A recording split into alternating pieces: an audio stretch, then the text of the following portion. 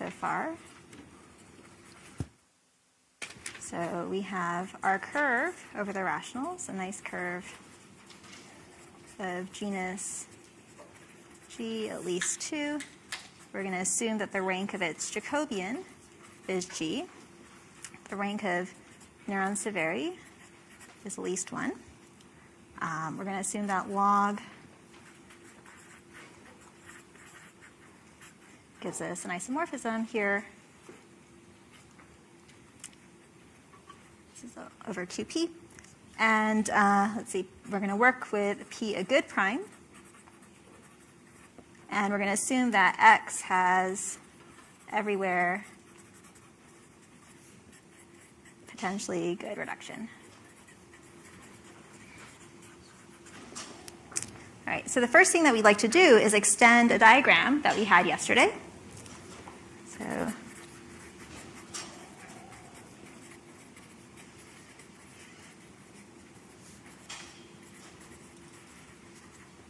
So we had our rational points mapping into our QP points on the curve. And then we had, and we also saw this in Kim's lecture, so unipotent Kummer map. And then we can localize. And we also have this local unipotent Kummer map. And we like to map here into our um, space of mixed extensions um, of p-adic global um, representations with three graded pieces, QPV, QP1, uh, crystalline at P. And we'll do this by twisting. And we also, so we have our local objects here Then we have our um, filtered phi modules here. And we saw, again, also in Minhyong's lecture, uh, the space U de Rham um, quotiented out by Fil 0. Um, so this is a quotient of Deligne's um, de Rham pi 1. And this map here is cut out by iterated integrals.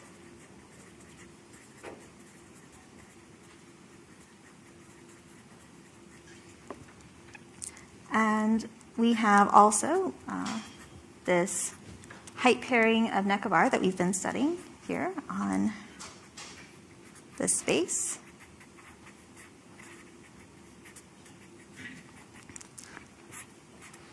So we're going to get something in QP at the end of the day. And we also have a local height, HP.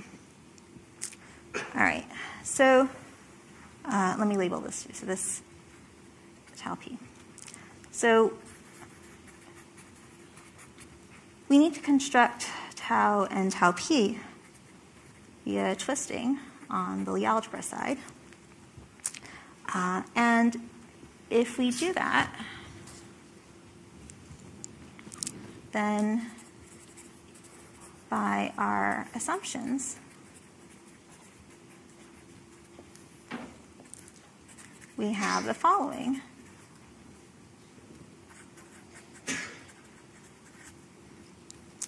So we start off with the Nekovar height,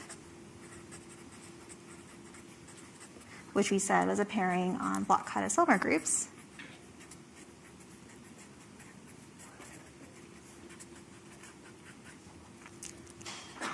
Um, but then if we localize and apply Poincare duality, we find ourselves here. And then by the Bloch-Katta log, Now,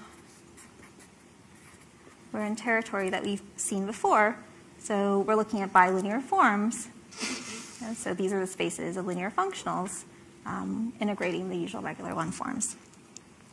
So we neck of Nekovar height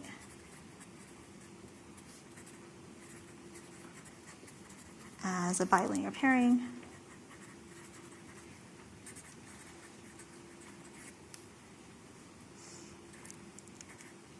A bilinear pairing. And maybe I'll just write down what I said here. So this is localization and Poincare duality. And this is from the Bloch-Kato log. All right, so now what we want to do is associate to every rational point um, a certain extension, a certain mixed extension. So x is going to go to tau of j of x. And we'll do this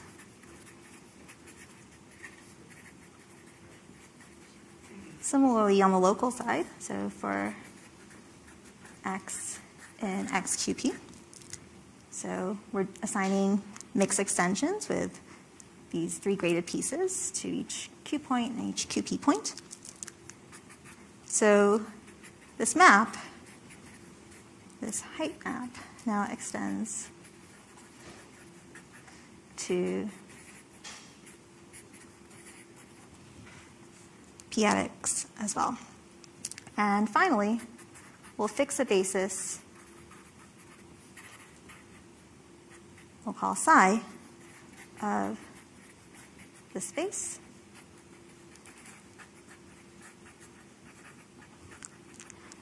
And we'll use this to rewrite our height in terms of this basis using a set of known rational points. Either if we have enough independent rational points in the sense that we can generate uh, the right dimensions here, um, or possibly through height pairings back on the Jacobian.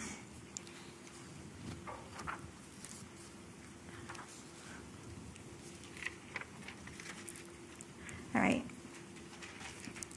So the theorem, this is joint work with Netan Dogra, and this is quadratic Chabauty for rational points in our setup.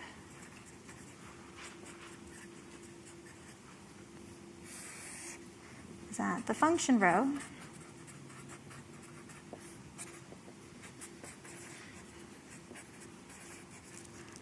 it sends x to the local height of this representation minus the global height. This vanishes on xqpu, which was this thing that was very close to xqp2 and has finitely many zeros. And what we like to do is make this explicit and compute the set xqpu. All right. So to make this explicit, we need to do two things. So first, write the global height h in terms of our basis.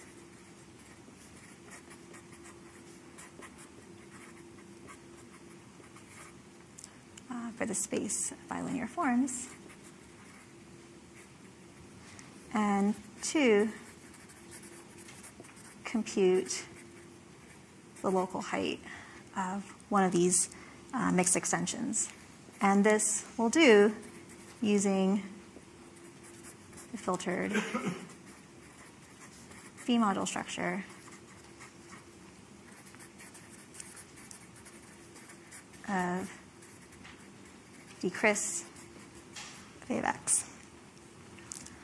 So a lemma is that there exists connection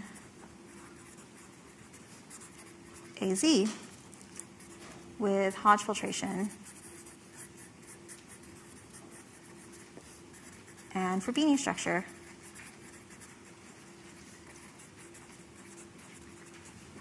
Such that if I pull back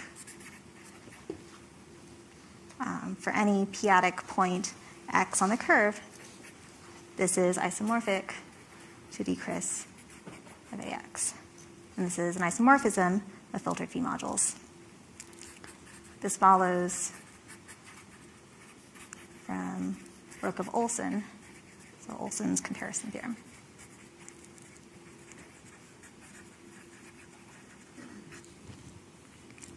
All right, so a few words about curly AZ. This is a unipotent isocrystal, and it's a quotient of a certain universal two-step unipotent connection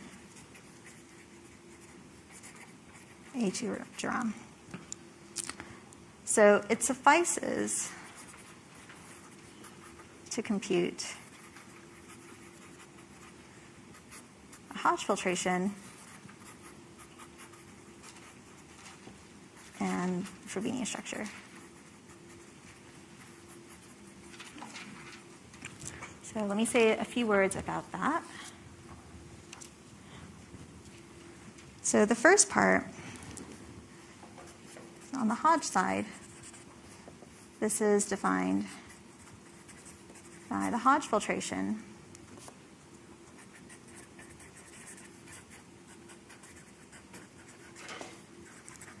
On graded pieces and its global nature.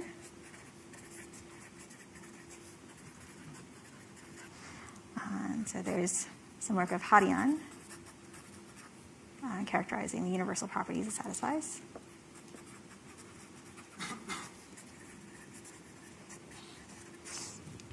Um, and first, you know, we do this on some affine um, and extend. And on the Frobenius side, so this is via Frobenius on the rigid picture and a comparison theorem of Chiarellotto and Le Stum.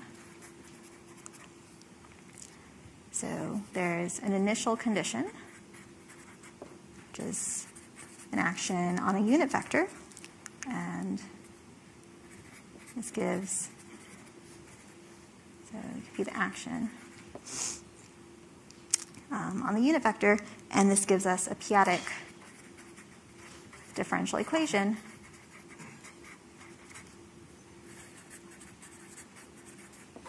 That we solve using Tuitman's algorithm.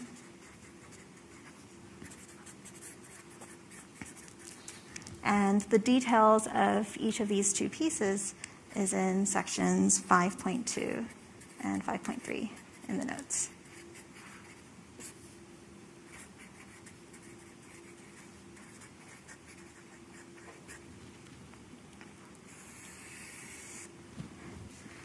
All right.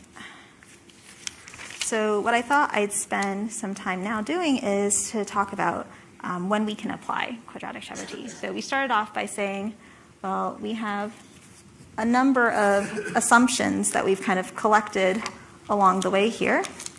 So we have a nice curve, genus at least two. We're going to assume that its rank, uh, the Jacobian is G, the rank of neurons is greater than one, um, that we have this isomorphism, um, that P is a good prime, and we have every potential good reduction. So you might be wondering, well, do we have curves for which um, we can do this? Are there interesting classes of curves for which you would like to do this? And the answer is yes. Uh, there are a number of curves.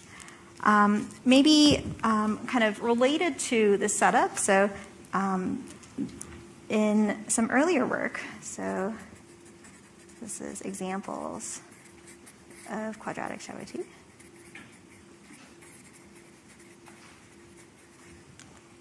So this is a problem. This is much earlier work, so a problem of Diophantus. So this is problem 17, book 6 of the Arabic manuscript of the Arithmetica. So Diophantus asks if you can find three squares, which when added give a square and such that the first one is the square root, he called it the side of the second, and the second. Is the square root of the third.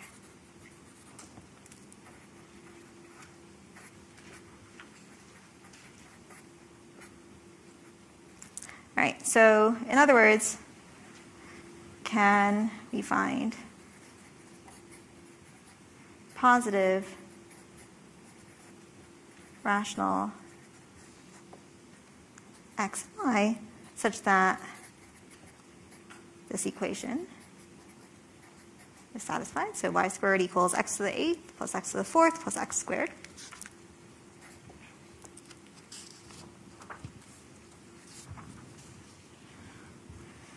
And Diophantus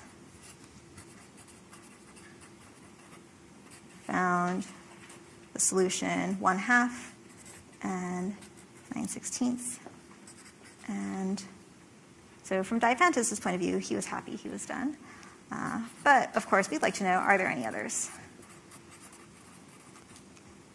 So we want to work with a smooth curve, so we'll remove singularity at 0, 0. And so we want to determine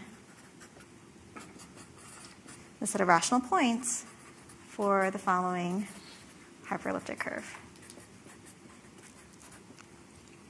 And here are some things about this hyperelliptic curve. So it's Jacobian, has rank 2. And you can kind of see, well, so this is something squared, and this is also something squared. So we admit a degree 2 map down to an elliptic curve. The Jacobian is isogenous to a product of two elliptic curves. That's the rank of Néron-Severi here. It's 2. And Wetherell, in his thesis, he determined the set of rational points via covers, so covering collections, and classical Chabauty-Coleman. So very briefly, um, he constructed two covers of genus 5 and then quotiented out to get two covers of genus 3 that turned out to be hyperelliptic. And one had rank 0 and one had rank 1. So he was in business. He applied um, Chabauty-Coleman and determined the set of rational points on those genus 3 curves and then got the rational points on his curve. Uh, so more recently, Francesca Bianchi gave a quadratic Chabot solution to Diophantus' question.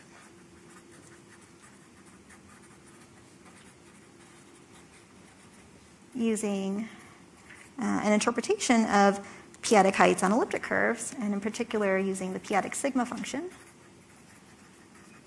instead of double Coleman integrals. And she showed uh, the set of rational points as Wetherell found is precisely the set. All right, so this uh, is related to some work uh, that Netan and I did, which is that we can apply quadratic Chabauty to bielliptic genus two curves x over k, um, where k is q or quadratic imaginary with Jacobian rank k2. And here are the computational tools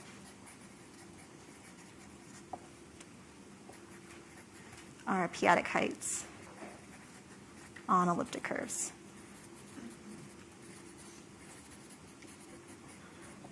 which we then rewrite in terms of double Coleman, double Coleman integrals.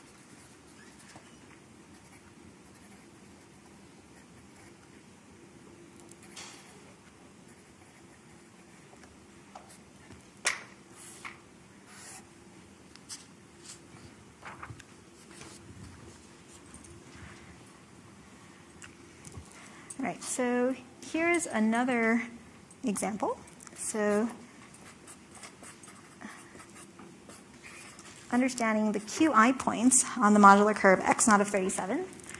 and this was a question of Harris Daniels and Alvaro Lozano Robledo. So x naught of 37 looks like this. So this also is a bielliptic genus 2 curve. And over Qi, so the Jacobian of J naught of 37 has rank 2. And together, so with Dogra and Mueller, we showed that the Qi points on this curve are the following. So plus or minus 2, plus or minus 1, some points over qi, and some points at infinity. And here we used quadratic Chabauty, but in combination with the Mordell, Mordell So not only did we apply the Mordell, apply the quadratic Chabauty for uh, the primes 41, 73, and 101, but we sieved and actually, after sieving, we found some extra global points beyond this that didn't, that funny enough, weren't in QI. So I think they were in Q adjoin the square root of 3. Um, but the local heights kind of interacted in such a way that they were picked up, and the Mordell-Weil sieve kept them for us.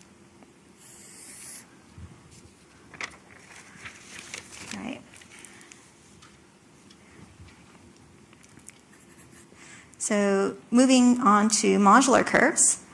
Uh, so the split Cartan curve of level 13.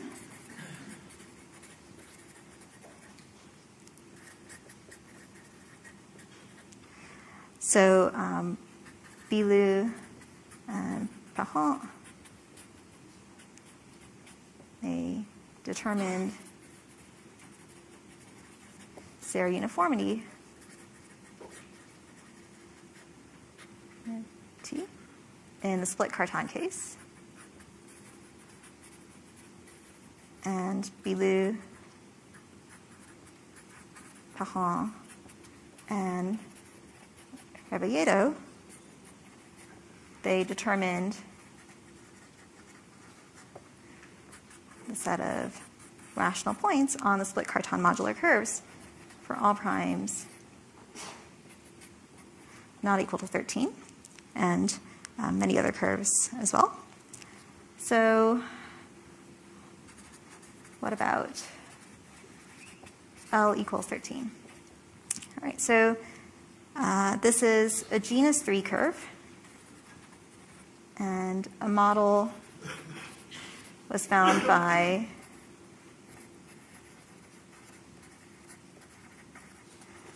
Baran. It's a smooth plane quartic.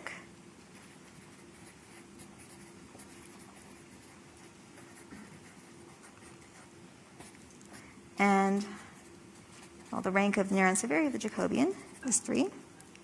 Uh, the rank of the Jacobian we can show is 3. And in work with Dogra, Mueller, Tuitman, and Vonk, we showed that this curve just has seven rational points and then using the work of Baran, this tells us. Uh, so she exhibited an exceptional isomorphism between the split Cartan curve of level 13 and the non-split Cartan curve of level 13. And so we get for free that this also has seven rational points.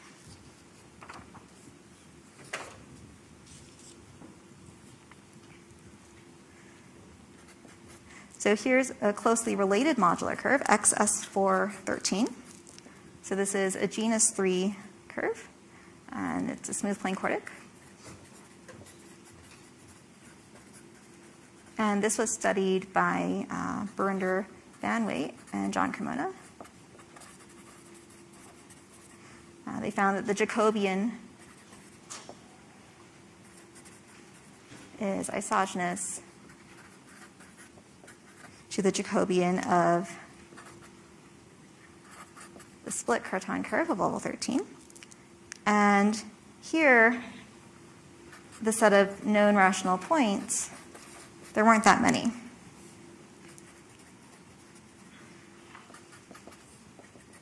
So we weren't so sure if we could apply quadratic Chabauty because one of the kind of hidden hypotheses of our work is that we need a collection of rational points, and four is kind of the bare minimum to get things to work. Um, together with Dogra, Mueller, Tuitman, and Vonk, we showed that actually, yes, it is just the four rational points on this curve as well. And I should note that this was of interest. Uh, one of the reasons was from Mazur's program B. So from David Zureick-Brown, we learned that this was the last exceptional S4 curve, and also the last remaining modular curve of level of power 13.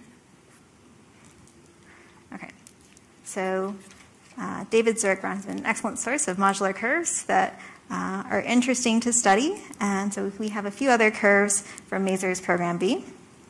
So these were particularly tricky for us. So two other curves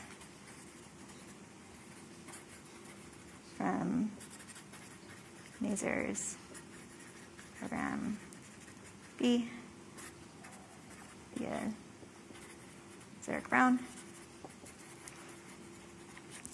So these are modular curves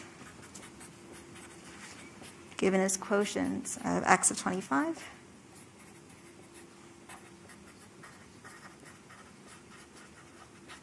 and each have the following properties.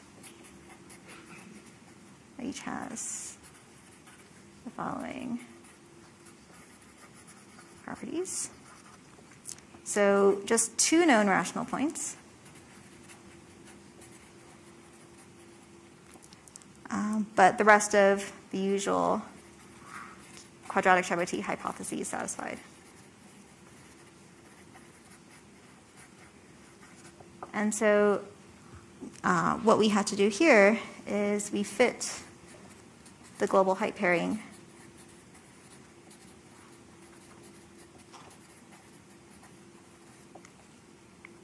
using the Jacobian and Coleman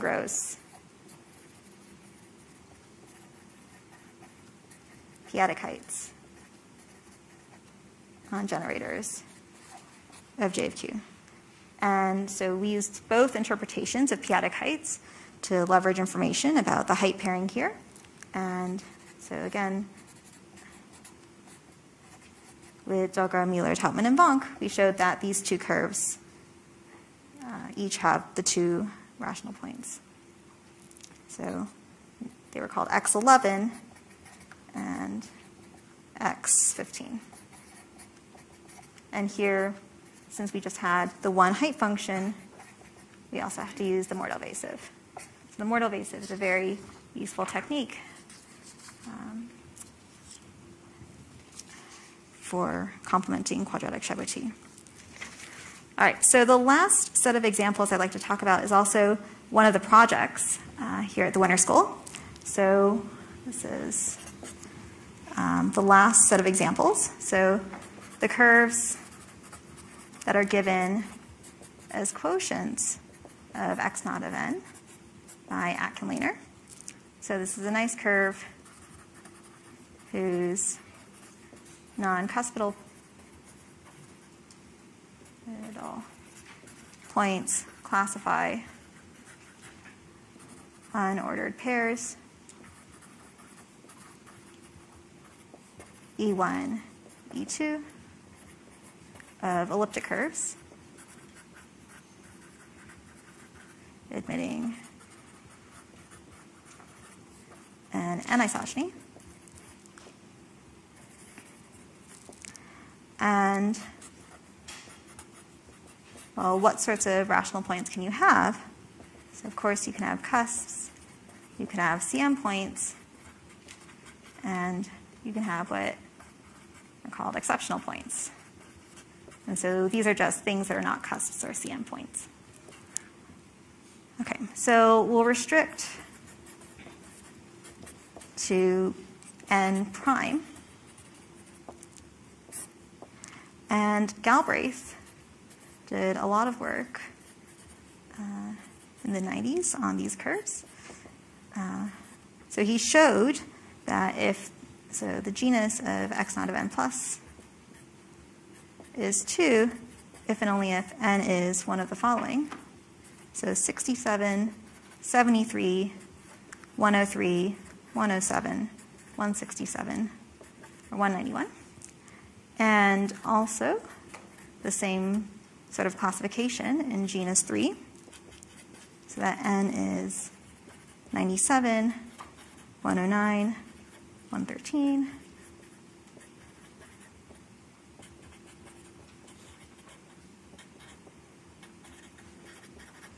All right. And by work of uh, Hasegawa and Ki-ichiro Hashimoto in 96, we know that x naught of n plus is hyperelliptic if and only if genus 2. So all of these genus 3 curves are smooth plane quartics.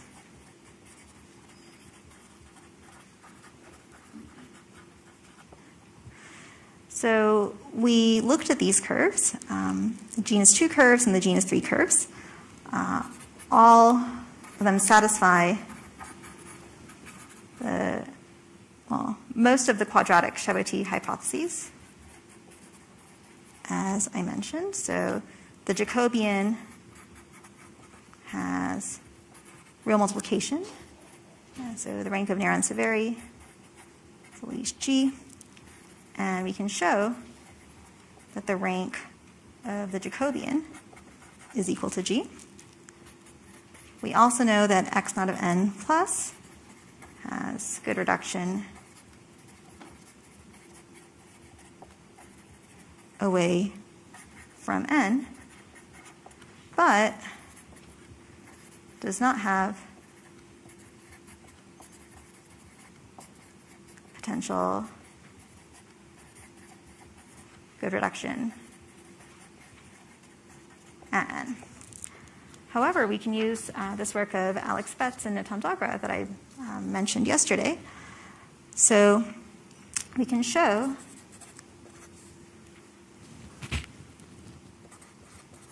that there's a regular semi-stable model of x naught of n plus over Zn, whose special fiber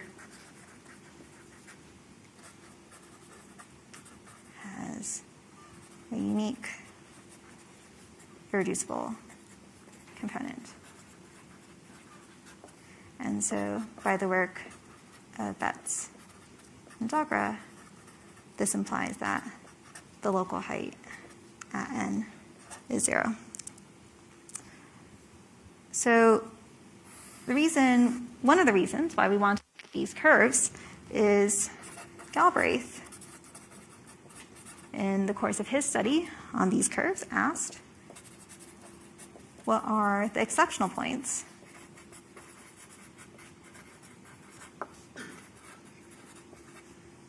On x naught of n plus for all such curves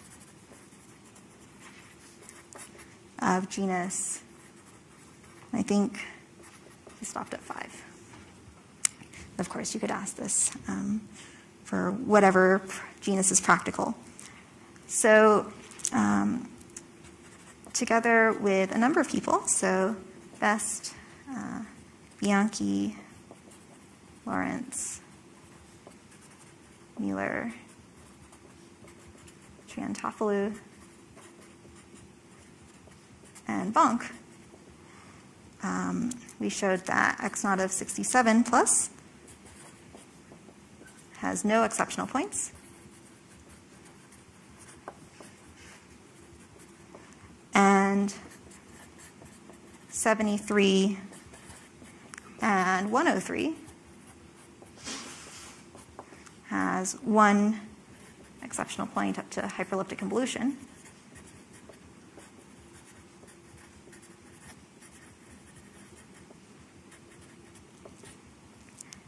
And more recently, uh, together with Dogra, Mueller, Tuitman, and Vonk, uh, we showed that building on this earlier work, that the only prime values of n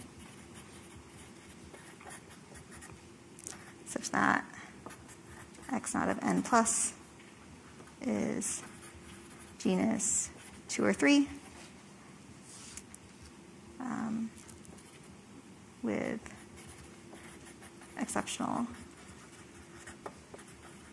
rational points are 73, 103, and 181. So in particular, there are no exceptional rational points in the case of genus 3. And so, uh, so no exceptional points.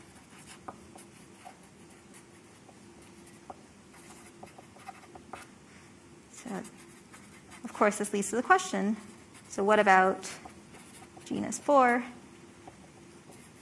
or even genus 5? And uh, that's one of the things that we're hoping to answer here. And hopefully uh, we'll hear more about this tomorrow. I think I'll stop here. Thank you very much for your attention.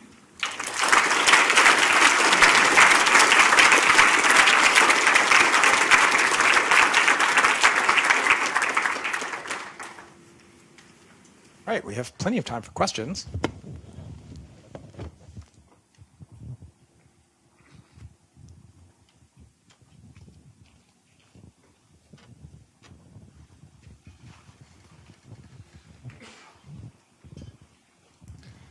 So in this example five, uh, you have these two rational points and you say that these are not um, enough to sort of use these uh, Nekovar local heights, and so you have to use uh, fitting using the Coleman-Gross height pairing. Right. Are there examples where you don't have enough rational points and you also can't use this fitting of the Coleman-Gross p-adic height? Uh, so with the fitting of uh, the Coleman-Gross p-adic, so I guess we, um, to use the Nekovar height, we're assuming that we have one rational point on our curve. Um, but for the Coleman-Gross height, all we need is some number of points on the Jacobian. And if we know that the rank is such that the quadratic Chabauty hypothesis is satisfied, then typically you know that because we have some number of independent points on the Jacobian as well. I guess everything's implicitly assuming that we have one rational base point. So for one of the curves up there, you had uh, that its Jacobian was isogenous to the x, uh, the split uh, yes. Cartan of 13. Yes. And but you only had four points. Are you able to use the? I mean, you got it did work out anyway. But would you have been able to use the points on the split Cartan to help you in any way there? Interesting question. Uh, so the split Cartan curve has more rational points. Um, I, that's an interesting question. I, I don't we, we didn't try. Um, I can't say that I can think of an obvious way to do that. Um, yeah, certainly the Jacobian is more closely related, I think. Um,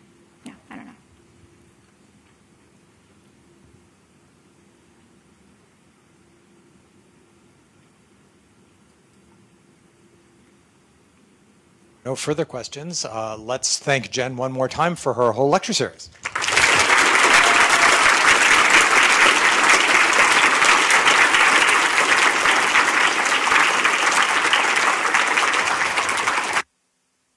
Uh, we now have a break. We'll resume at scheduled at 3:40.